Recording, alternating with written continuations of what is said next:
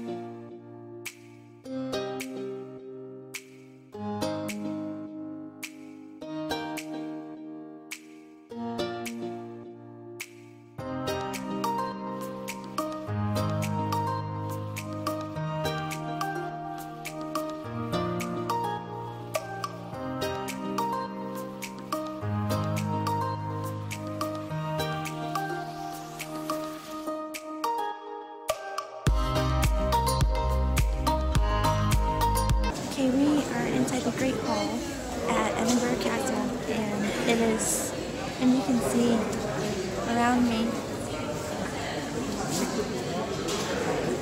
like, it's gorgeous, it's amazing looking. I love history, so it's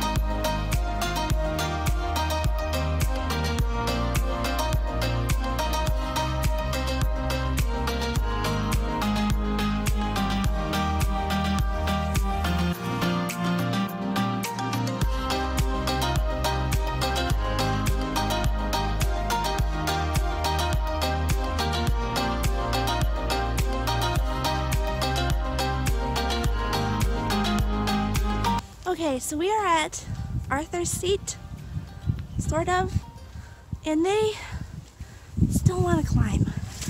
And I am sliding on the mud right now.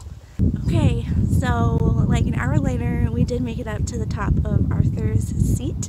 It is very windy, you can probably hear it, and you can probably see it because my hair is going this way. But look at the views behind me. Oh my gosh. The views up here are absolutely stunning, but yeah, we kind of spontaneously decided to do this and I'm wearing regular like riding boots. It was it was a pretty bad decision, but look look at the scenery.